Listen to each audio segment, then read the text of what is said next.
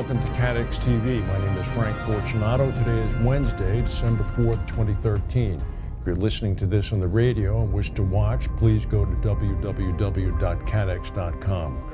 The third largest reinsurance broker in the world and the one with the highest degree of penetration in China has sacked two employees at its Hong Kong reinsurance office for engaging in what Willis Group calls inappropriate business practices. This is being uh, reported by the Insurance Insider.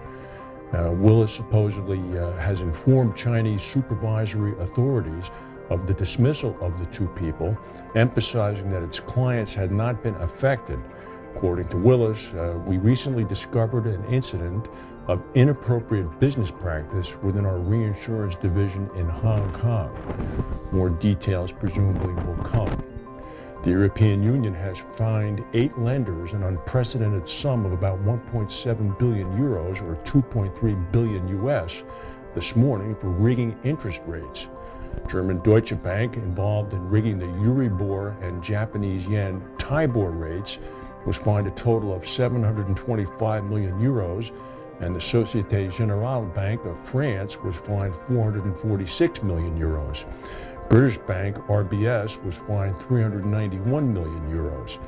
These uh, fines come after a separate scandal over the rigging of the London LIBOR rate. Now we have the LIBOR rate, uh, we have the uh, Euribor rate, which is based on the uh, EU's uh, Eurodollar, and we have the Japanese yen Tibor rate. Apparently, all three interest rates were rigged. Very interesting. British insurers uh, plan to invest 25 billion British pounds, or 41 billion US, in transport and energy projects in the UK over the next five years. The Finance Ministry in London made this announcement this morning. Uh, boosting private sector infrastructure investment is a priority for the British government as the economic recovery there, which has taken hold, has been fueled largely by consumer spending, which can't last. Many British power stations are due for replacement in the coming years. Roads, railways, and airports are also overcrowded and will be invested in by insurance companies. Here's an interesting uh, bit of information. In addition, uh, Legal and General Insurance, one of the big companies that's going to be making the investment, said recent changes to the European Union solvency regulations known as Solvency II made such investments easier. The terms, according to the Legal and General, are now fixed so as to permit long-term infrastructure investment without excessively onerous capital requirements. Well, that's very interesting because, uh, of course, Solvency II has taken forever to get implemented. Casualty reinsurance demand apparently continues to fall.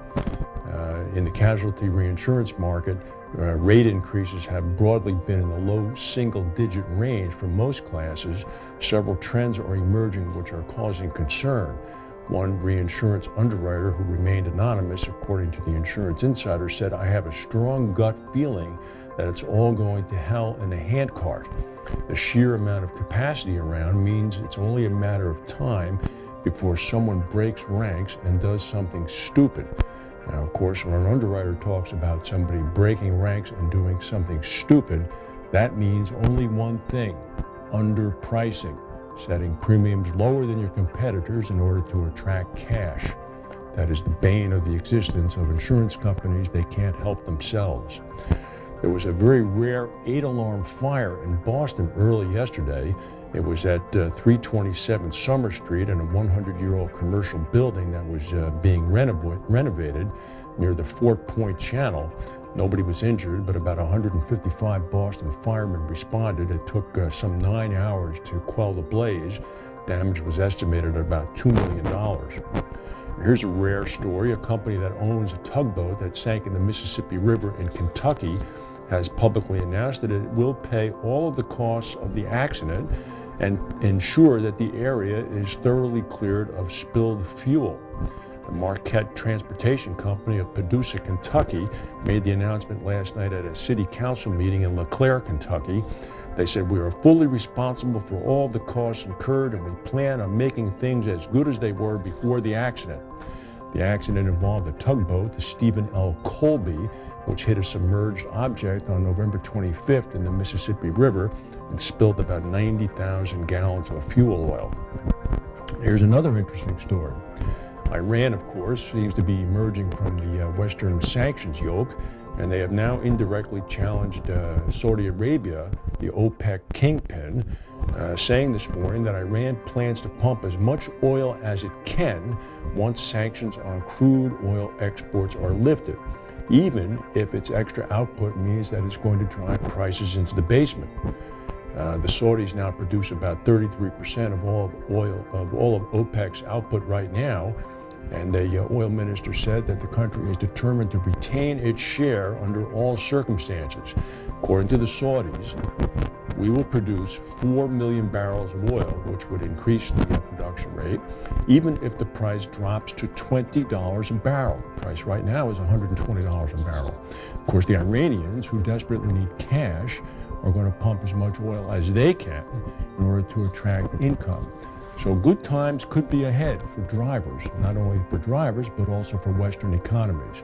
There's a calculation somewhere that the drop of uh, each $5 mark in the price of crude oil has a multiplier effect that is quite significant exponentially insofar as gross domestic product for Western economies. And uh, here's a breaking headline. Two homes in China were damaged by falling pieces of a rocket launched on Monday.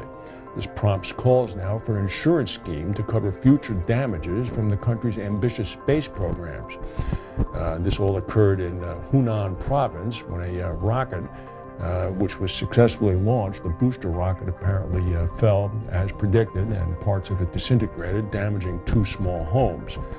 Um, experts are calling for a program to handle rocket damage compensation uh, rather than uh, dealing with each homeowner claim on an individual basis. Um, the uh, experts say, suppose the rocket wreckage hit a person instead of a house, what would the authorities do? Of course, when you have 1.2 billion people in a country, the likelihood of being hit by a rocket increases. But 180,000 residents near the rocket center were actually physically relocated before the launch of the rocket to ensure that they were not hit tell you, it's a different way to do business, it seems, in China. That's the news for today. If we have any breaking news, we'll come back and tell you. Thank you for watching, and we'll see you tomorrow.